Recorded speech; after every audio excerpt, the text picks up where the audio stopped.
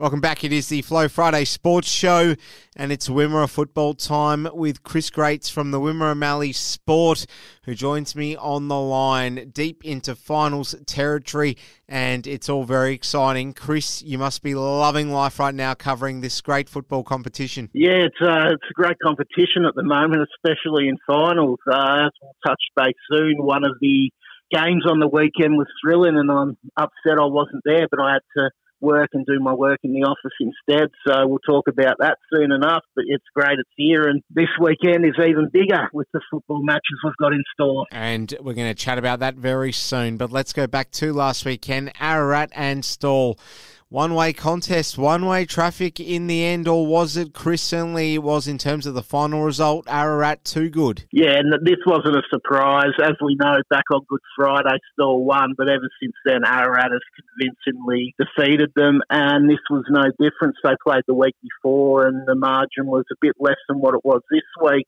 So Ararat are looking very, very fine. They just, yeah, capitalised with the wind in the first quarter, and then um, against the wind in the second, and then with with the wind in the first third quarter. They kicked seven goals to three to really blow the game away, and from there they weren't headed. Uh, they had a come six point win. The good thing for Ararat is Tom Mills, their co-coach with Tom Williamson. He kicked seven goals. He's only played about eight matches this year, and he's in a good string of form at the moment. He kicked seven uh, there on the weekend, then six the week before, then four the week before that. So the three games he's been back, he's kicked what is that 17 goals. So that's ominous in time of finals. And for Stawell, they've got a bit of a bit of a building block to do to work out how they're going to win their match this weekend. They Cody Driscoll kicked two goals, but yeah, at the moment it's their goal kicking, which is a bit worrying for them. They just their forwards just aren't clicking at the moment, so they'll go back to the drawing board and we'll see what happens from here on in. Huge result in the elimination final. Horsham Demons are done and dusted. Nhill getting the better of them 80 to 73. These two pretty well neck and neck, Chris, but Horsham Demons finishing higher on the ladder means that this was somewhat of a surprise for Nhill to pull this one out of the bag. Yeah, if you talk to everyone at Nhill before the game, they were confident heading in. This was this was a classic game. Uh, this was uh, one of the best finals in recent years in the Wimmera League, probably in the last 10 years. Um, Nhill got out. The AU's was conditions were shocking. It was rainy, it was wet, and they kicked five goals eight in the first quarter to lead by 36 points a quarter time Nhill. And then Horsham slowly got back into it. Uh, the margin was 19 points at half time and then 13 at um, 13 at, um, yeah, three quarter time, but the last quarter was oh, the best football probably played this year by all reports. I've actually watched the video, especially in the dying seconds. Because what happened was this went into extra time. Um, don't know when the last time a final in the Wimmera went to extra time, but uh, Nhill coach Jake McQueen got a smother on it on the ball from Jordan Modern. He kicked his goal, went straight through, and um, yeah, levelled the score. Otherwise, the Demons would have won. And then yeah, that brought into extra time, and then the Demons got the first goal in extra time against Drew Motton. But yeah, Nhill Nhill got the lead back at the first end of first period of overtime, thanks to Deke Robert, and yeah, they held that um, solitary one point lead all the way through the second period of overtime, and they kicked a goal on the siren to uh, win the match. It was a classic match in every in trying conditions. And so we go back to the Horsham Demons. Ryan Kemp kicked three goals, so he's ended a terrific season for Horsham.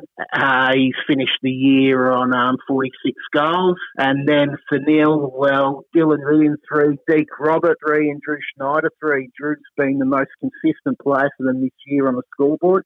Deke Roberts as an older fella. Uh, Horsham Demons played in a few premierships at Horsham, so it was a bit fitting that he kicked probably the winning goal there against his old mob.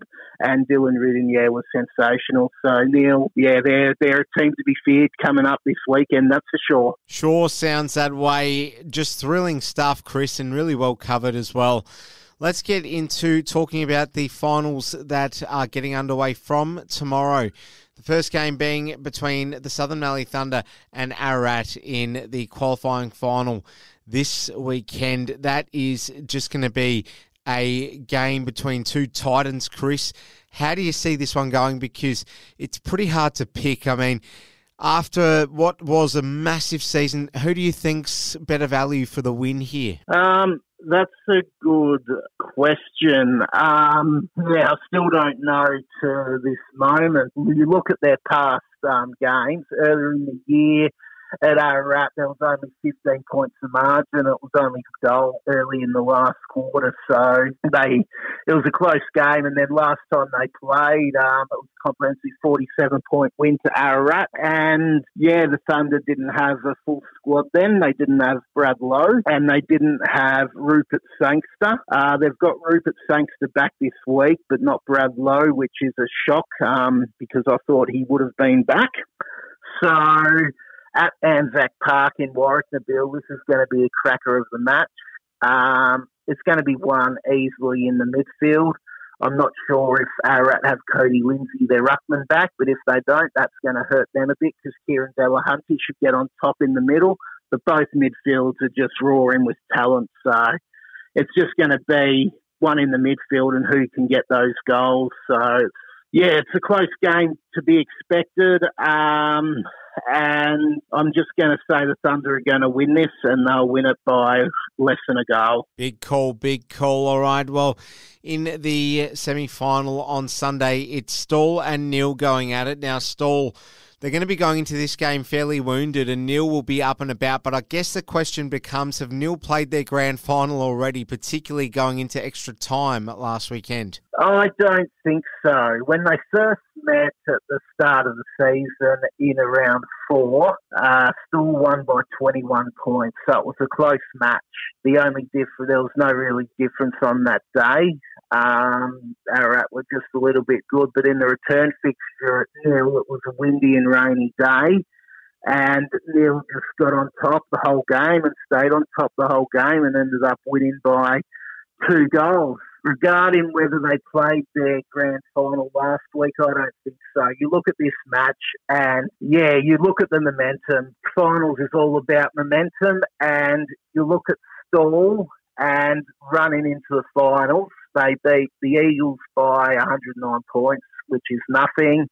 They lost to the Thunder by 61. They lost to Ararat by 35. They lost to Ararat last week by 56. So they're coming in with a three game losing streak. Whereas Nhill, on the other hand, they're firing on all cylinders. Um, they drew against Ararat, and in the last round, they defeated Nhill. I mean, they defeated Horsham Saints by 50 points. And then last week, they won that overtime thriller. So based on momentum, they're going to have the momentum. I'm going to say Nhill's going to win this match by two or three goals because you just have to look at the momentum. They've got the momentum. You can't win a final losing the last three games. You really can't. You're absolutely spot on.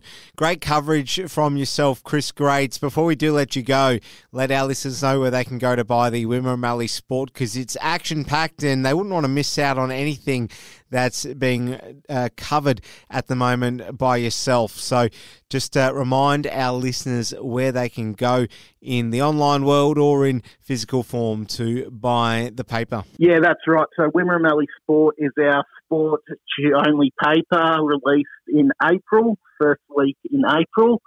It is it's 20 pages long, so it's 20 pages full of sport content, covers football, win both leagues around here, and other sport, And you can get that at your local agencies where you get your papers, or your news agency, or petrol stations, or IGA, wherever they sell the papers. It should pop up there. And if you can't get an online, or if you can't get a physical copy, sign up online at wmsport.com.au. That will give you our digital edition of the paper, any online content, and all our other four papers as well. So the Horsham Times, Warracknabeal Herald, Rainbow Argus, and Dimboola Banner. You can read that as well. And definitely pick up a copy next week of the sports paper because my grand final preview in the Horsham District League is going to be the best in the region. I've got four or five pages lined up with smack bang beautiful content. Already lined up interviews for the winning team this weekend to meet the Harrow in the grand final. So you definitely can't miss out on the paper next week, especially if you want to read up on the Horsham District League grand grand final, get the paper and have a look at it. Excellent work, Chris Gratez from the Wimmera Mallee News. All the best. Enjoy the finals, and we'll speak to you again next week. Thanks for having me, Ellis. We'll speak next week.